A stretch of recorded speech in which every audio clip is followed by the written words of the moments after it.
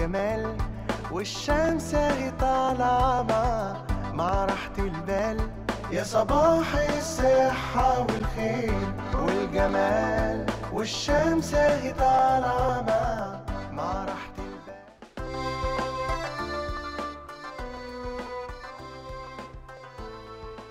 صباح الخير مشاهدينا أهلا بيكم يوم جديد وحلقة جديدة وصباح الصحة والجمال. النهارده يوم الاثنين 18 نوفمبر 2019 و21 من ربيع الأول 1441 آه التسامح. التسامح شيء جميل جدا في حياتنا. اليوم العالمي للتسامح وهو يوم 16 نوفمبر. كل العالم بيحتفل باليوم العالمي للتسامح. آه بيدعو فيه إن إن أنت لازم يكون عندك حوار مع الطرف الآخر. ايا كان ديانته إيه جنسيته إيه ثقافته إيه حواره إيه يكون بينك وبين الطرف الآخر كل احترام وتعاون وحب في كل حاجة. آه، مش معنى كده كمان إن أنا آه، أتساهل أو أتنازل آه، مع الآخرين ولكن إن أنا بعترف برأيهم كويس جدا بدون أي آه، مشاكل بدون أي آراء تانية مختلفة. قد إيه التسامح شيء جميل جدا في حياتنا وعايزين نعرف النهارده إيه هو التسامح وأهميته في حياتنا الاجتماعية والإنسانية. تعالوا نعرف مع بعض النهارده مع ضيفنا العزيز ودايما اللي منورنا في صباح الصحة والجمال الدكتور طارق إلياس. خلاص بقى ضيف معانا في صباح الصحة والجمال تعالوا نعرف النهارده بقى إيه هي إيه هو التسامح وأهميته في حياتنا وهل موجود في بيتنا ولا لأ موجود في أسرتنا موجود في المدرسة. آه تعالوا نعرف حاجات كتيره عن التسامح. مشاهدينا هنروح لفاصل ونرجع نستقبل ضيفنا ونكمل حوارنا. صباح الصحة والخير والجمال والشمس اهي طالعة مع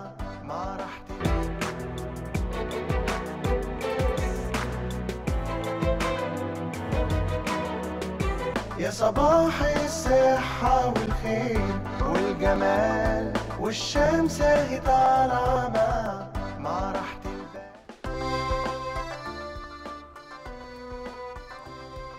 ورجعنا لكم مشاهدينا ولسه مكملين معاكم صباح الصحة والجمال. والنهاردة بنحتفل مع بعض وبنتكلم عن اليوم العالمي للتسامح. وقد إيه التسامح شيء جميل ومهم مهم جدا في حياتنا آه، قد إيه آه، التسامح بيدي سعادة وراحة نفسية. وأهم حاجة كمان إن أهم عنصر في التسامح هو التعايش. إزاي نتعايش مع بعض ونحب بعض؟ تعالوا نعرف مع بعض النهاردة أهمية التسامح في حياتنا الاجتماعية والإنسانية مع الدكتور اللي مشرفنا الدكتور طارق إلياس خبير التنميه البشرية. صباح الخير يا دكتور. أهلا بيك أهلا بيك شرفتنا والله وبتنورنا شيرين. بكون سعيد بوجودي مع حضرتك دايما. مشاهدينا دايما بينتظروا الفقرة الجميلة بتاعت حضرتك. الله يخليك يا فندم. لأن إحنا يا دكتور طارق بنتكلم كمان في مواضيع آه، مهمة وفي نفس الوقت كلمات. يعني كلمة التسامح دي معظمنا ما نعرف ما حدش عارفها قوي يعني. آه، إيه معناها في البداية؟ نعرف مشاهدينا كلمة التسامح إيه وليه آه. بيبقى فيه يوم عالمي لكلمة كمان التسامح والتسامح نفسه. آه التسامح هو من ارقى وأهم المعاني اللي الأديان كلها أقرتها. آه. أن يكون هناك سلام وبالتالي سلام قائم على التسامح. يتسامح الإنسان دايما مع المجتمع اللي بيتجاوز ضده وبيسمح له يتجاوز في حقه ومع ذلك يحاول يتغاضى عن ده. يمكن ده يجبر الأطراف ال- يعني الأخرى أن تكون علاقتها بيه علاقة أفضل. مم. إحنا هنا مش بنتكلم عن أشخاص إحنا كمان بنتكلم عن أوطان. الوطن أحيانا يتسامح في حق أولاده اللي هم ما كانوش آه، بيحاولوا يدعموه اللي كانوا واقفين ضده اللي معترضين عليه. ومع ذلك يتسامح علشان يفهمهم إنه المكان ده يحتوينا جميعا. آه. التسامح معناه أنه قبول الآخر. مم. اختلاف الأديان في مجتمع ده تسامح ما بين الناس. إنك مم. أنت مختلف عني ولكني أنا أعطي لك حرية الاختلاف. مم. الاختلاف يبدأ به الإحساس بإيه؟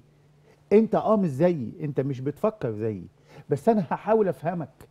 مم. التسامح هو محاولة فهم الآخر. أحاول أتعايش معاه. آخد ودي معاه. آه نفهمه الأول.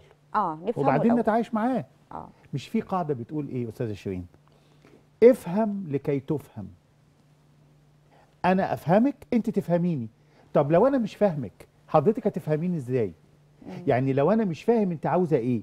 يبقى أنا مش هوجه الرساله اللي تناسبك أنا هكلمك بلهجتي أنا.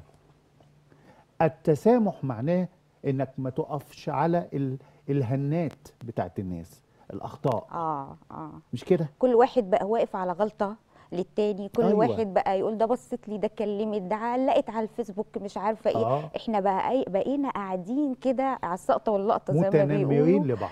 آه متنمرين لبعض آه، صح. بالظبط. آه, آه تعبير عش- جميل. وبالتالي حضرتك مش من جواكي حاسة إنك أنت عايشة في سعادة. أصل التسامح هو سبب السعادة الحقيقية. آه. لإنك أنت ما فيش جواك احتقان ولا ضغينة تجاه أي حد. آه. ولو جيتي فكرتي بشويش هتقولي إيه؟ هو إيه أقصى حاجة ممكن كانت هتحصل لو أنا كنت زعلت ولا ما زعلتش؟ ما هو الأمر هيفضل قائم زي ما هو. أحيانا أولادنا بيتصرفوا بسذاجة بفطرية. نزعل ونخش فيهم جامد قوي ونزعق لهم. ونعاقب وفاكرين إن العقاب هو الوسيلة الوحيدة لتربيتهم. إنما ده مش حقيقة فعلا إنما أنا لو أنا اتسامحت على أشياء وأخطاء هم ما يقصدوهاش وأنا عارف ان هم ما يقصدوهاش. حتى لو كانوا يقصدوا بعضها يمكن ده يجبرهم إنهم يغيروا سلوكياتهم. ما هي المشكلة يا دكتور طارق؟ سلوكياتنا. آه و- وفي الحياة اليومية كمان عاداتنا كمان. آه، هل التسامح ممكن يكون في يوم من الأيام في في في عاداتنا ويومياتنا وسلوكياتنا اللي إحنا ممكن آه، نتبع معاها فيما بعد مع الأولاد. آه. عشان الأم والأب هم أساس البيت. أكيد. آه. آه، عادة الإنسان ال- الغني نفسيا اللي ما عندوش مشاكل بينه وبين نفسه يتسامح مع كل الناس. حتى إنهم ساعات المجتمع يصف الشخص المتسامح بإنه أبلة. مم. يقول لك إيه العبط ده؟ أنا آسف في اللفظ. إيه العبط ده؟ ده البني آدم ده بيضحك عليه. لا بالعكس. هو يعلم إن الآخرين أساءوا في حقه. بس لما هو تسامح عمل إيه؟ عمل أهم قيمة في حياته هو. لم يهبط إلى مستوى من أخطأ في حقه. ده معناه إيه بقى؟ الخطأ بيصغر الناس حضرتك. التسامح بيكبر الناس. بيخلي حجمهم يبقى عملاق. يقول لك انت احرجتنا ما كانش حد متخيل انك هتسامحنا بالشكل ده. وظلت الابتسامة على وشه رغم الإساءة ضده. أحد الموظفين يستغنوا عنه في العمل رغم أنه كان من الناس المجدة جدا. تخيلي عمل إيه لما حاجته اللي كانت موجودة على مكتبه ودخل على المدير بتاعه اللي هو استغنى عنه وقال أنا كنت أتمنى إن العلاقة بيني وبين حضرتك والشركة تكون أفضل مم. بس أنا مش زعلان أنا سأبحث عن مكان آخر مم. ده التسامح مسلم عليه ذاته جميل ومشي آه حتى لو من جواه حزين مم. الحزن ده لابد منه بس ما مشاعر كانش ما هو. دايما يا دكتور طارق سوري آه، بقول إن الإنسان هو دايما ارسم مثلث كده مم. يعني أقفل أجزائه تكون متساوية مم. علشان الواحد يقدر آه، يعرف هدفه فين يعني مثلا أنا بكون الإنسان هو تكوينه فكر مشاعر سلوك ده كلام صحيح. آه آه. فأنت لما تطبق دول كلهم وفي الآخر تلاقي سلوكياته مش ماشية مع المجتمع مم. وحتى مش عارف المصطلحات إن هو إزاي آه، يتعامل معاها أو مع الناس التانية مم. ده في حد ذاته بي- بيعمل لنا لود آه. إزاي بعد كده هنقدر نتعامل مع الآخرين مم. وإحنا دلوقتي في جيل 2020 إن شاء الله يعني فلازم ندي توعية وللاسره كمان إن إزاي ياخدوا بالهم من الكلمات دي ومن الأشياء البسيطة دي هي إحنا بنعتبرها أشياء بسيطة مم. بس للأسف هي ليها معنى كبير ومصطلح كبير جدا في حياتنا وفي مجتمعنا. مم. طيب من هنا بقى آه، هدف التسامح إيه؟ يعني لو مم. في تسامح في الأسرة كده. إيه العائد اللي بي- بيرجع لينا فيما بعد؟ آه دفء العيلة. آه. العيلة بتبقى دافية ومستقرة و... والأصوات فيها مش عالية و... ومفيش حالة من التوتر والغضب. الغضب بيفسد حتى الجو العام. مم. الأب حتى وهو بيتكلم مع أولاده بتسامح بيسمح لهم بمساحة يقولوا حتى رأيهم. التسامح حالة من حالات العدل والثقة. والاحترام. آه طبعا. آه وتدي احترام كده لرأي الآخر كمان. والطرف الآخر. فده آه. بيخلي حتى البيت اللي هو نواة المجتمع هو اللي بيسمح للمجتمع إنه يعيش في سلام. قول رأيك وما تغضبش وما. تخربش وما تبقاش عنيف وما تقعدش تخبط بإيدك في الحيطان وأنت معدي. لكن تقدر تتكلم بصوت هادي. يقال دائما إن الأصوات الهادية مرتبطة بالشخص القوي. الأقوياء ما بيزعقوش. الشخص بقى اللي بيزعق تعرفي إن هو من جواه ضعيف للغاية. هو بيعوض الضعف بالصوت العالي. بالصوت العالي آه. فالناس بتفتكره إنه عنيف. هو مش عنيف. هو بيدافع عن نفسه. آه. إنما لو قرر إن هو يتسامح مش محتاج للصوت العالي. دفء العيلة يبدأ بالتسامح. هنعرف إزاي بقى يكون بينا تسامح في العيلة وفي البيت ومع أولادنا. بس ناخد تليفون دكتور طارق.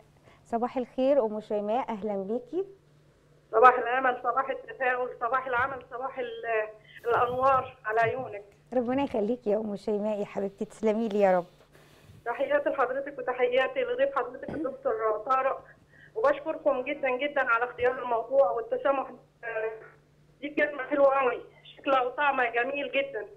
التسامح دي كلمة جميلة جدا. آه يا حبيبتي. لازم آه، لازم نسامح لازم نسامح بعض. وخيركم الذي يبدأ بالسلام. الله. آه. وبشكركم جدا جدا وبشكر دكتور طارق على المعلو- المعلومات القيمة دي. ميرسي يا أم. شيماء ويا رب إن شاء الله عام جديد عليكي وعلى الأسرة كلها إن شاء الله يا إن شاء حبيبتي. الله يا فندم. معانا الأستاذة صفا صباح الخير. صباح الخير السلام عليكم. عليكم السلام أهلا بيك. بقول لحضرتك أنا أقول للدكتور على حاجة. أنا أهلي لما بغلط غلط بيفضلوا فاكرينهولي العمر كله. آه. هما بيعاقبوني بيعاقبوني بشدة. يعني مرة ضربنا أخويا بالسلك ومرة داس على وشي بالجزمة وقال لي أنا قلبي شايل منك ومش هسامحك طول العمر. فأنا أعمل إيه معاه؟ عندك و... أيوه عندك كام سنة يا صفا؟ عندك كام سنة يا حبيبتي؟ أنا عندي تمانية وعشرين. تمانية. تسعة وعشرين. تسعة وعشرين آه. 29 آه. مم. طيب يا حبيبتي. آه، على كلام عن التنمر مع إنكم بتتكلموا فيه يعني؟ آه. أقولها لك. أنا كاتباها. آه، لا تتنمر بأحد فإن التنمر دمار واختر كلامك فإن الكلام السيء يؤلم المشاعر في الإنسان. واغرس الأمل في كل من حولك لتكن في وسط الناس كالأساس. واحرص في كل مكان على ما يبني ويعلي قدر الإخوة والأخوات في جميع الأوقات. ولا تشارك في أي شيء إلا بما يح- يحقق الإرادة في حياة البشر. ويكبر الخواطر في الآفاق ولا تنسوا السلام فإن السلام يحيي النفوس والعقول والأرواح. شكرا يا صفا يا حبيبة قلبي. ميرسي جدا. و... و... أستاذ صبري؟ آه الأستاذ صبري. ميرسي جدا يا أستاذ صبري. و السلام عليكم. صبري معانا. طب هنتكلم بس على الأستاذة صفا. شكرا يا أستاذة صفا. الأستاذ صبري معانا. صباح الخير. معاك يا فندم السلام عليكم. أهلا عليكم السلام. اتفضل يا أستاذ صبري. وال- والله حضرتك برنامج الت... والاسم فعلا اسم رائع التسامح. وينقصنا. وينقص وينقص في مصر الآن ان إحنا نتسامح كلنا مع بعضنا. صح يا أستاذ مسيحي مع مسلم كلنا آه. اخوات يعني من من أروع الأمثلة اللي أنا أتذكرها أنا محفظ قرآن. آه. بخلص استمارات تقديم الأولاد لمسابقة القرآن الكريم. حلو قوي. وإحنا في بقدم الاستمارات رحت اقدمها في المنطقة ففي ختم مش مش باين. فمعايا تليفون اللي معاه الختم في المدرسة. فاتصلت بيها وهي غير مسلمة. آه. فاتصلت بيها قلت لها حضرتك ده في ختم. قالت لي أنت فين؟ قلت لها أنا في شبين على بعد حوالي 40 كيلو. قالت لي خليك مكانك واستأذنت المدير وجابت لي الختم لي لحد ما خلصت بيه الاوراق. قلت لها قلت لها كلنا واحد. قالت لي لأ ده إحنا كلنا حتة واحدة والجملة فعلا محتاجينها كلنا. آه. عشان من أجل ذلك ربنا سبحانه وتعالى يعني إحنا إحنا في التحيات بنقول إيه؟ السلام عليك.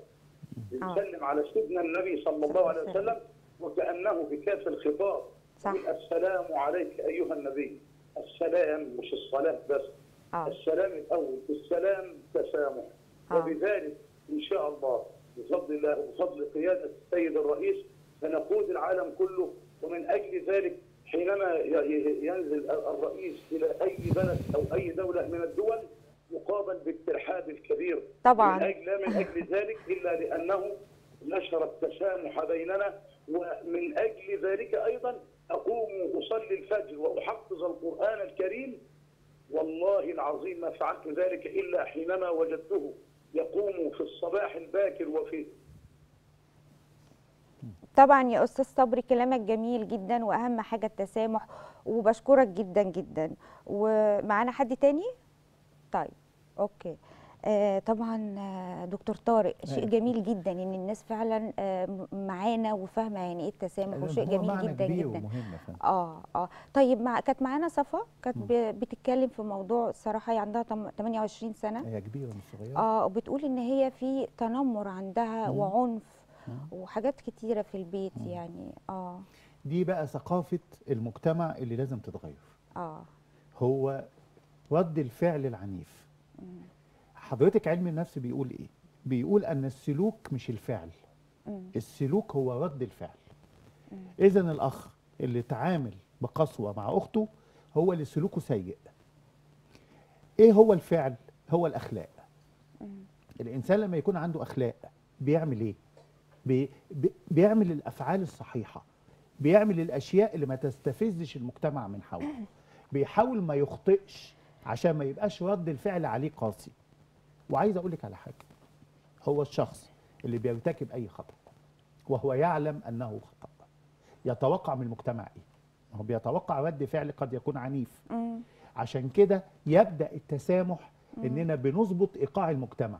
مم. إننا نقول له حاول تقلل من أخطائك. ما تستفزش من حولك. وده اللي بيسموه ذكاء الاجتماعي إنك تعيش وسط الناس بدون تصادمات معاهم. آه، الناس تحبك. آه. يعني أنت لازم تبدأ بالحب والسلام والاحترام. للطرف اللي قدامك.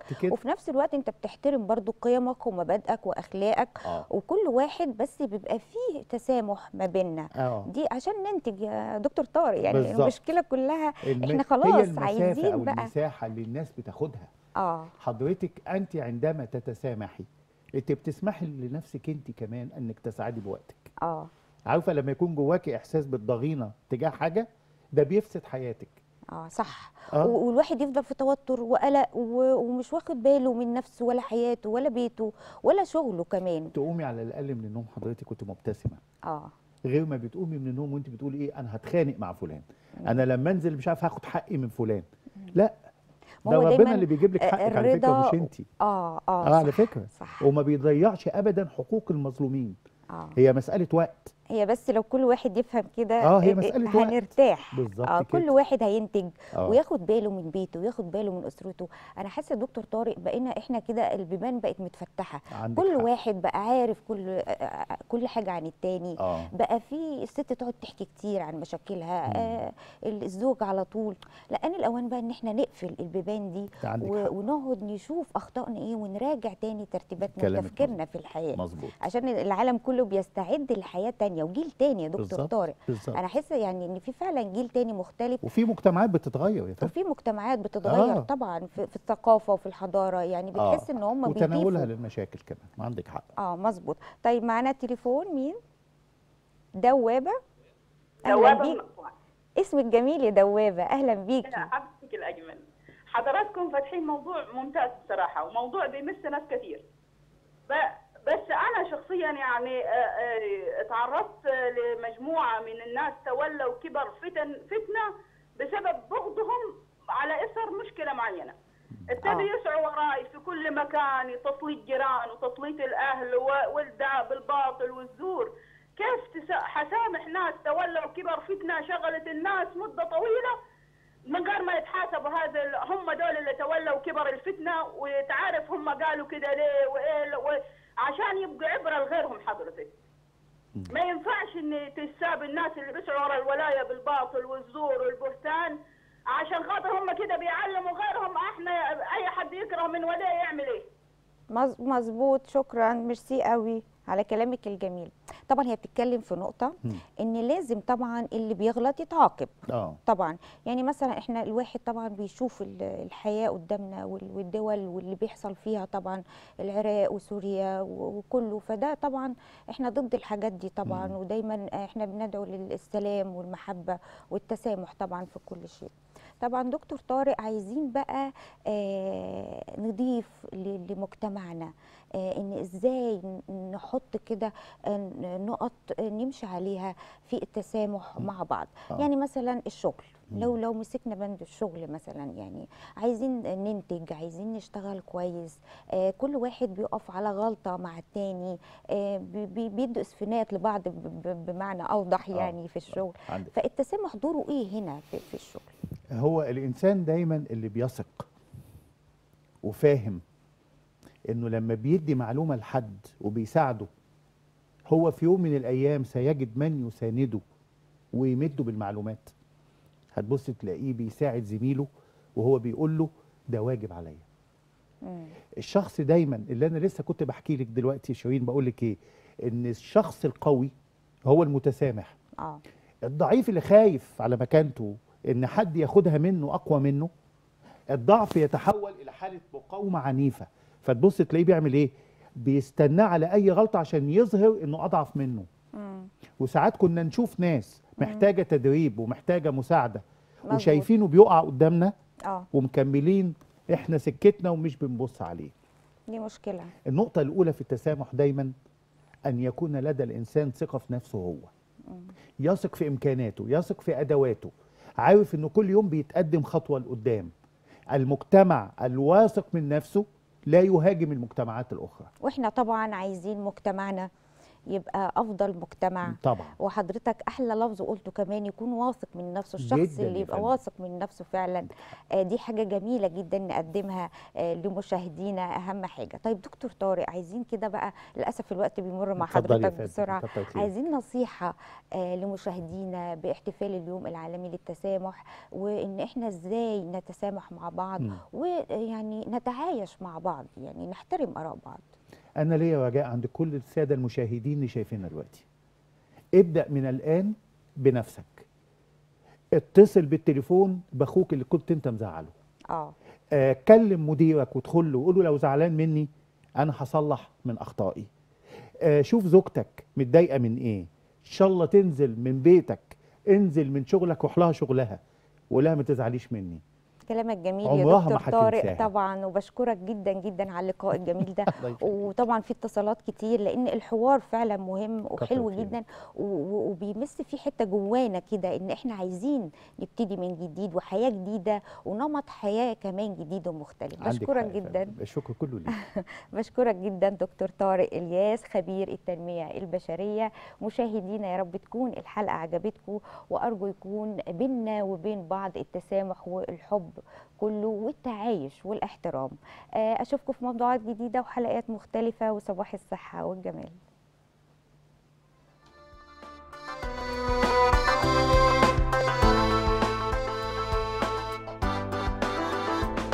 يا صباح الصحة والخير والجمال والشمس اهي طالعة مع مع راحة البال.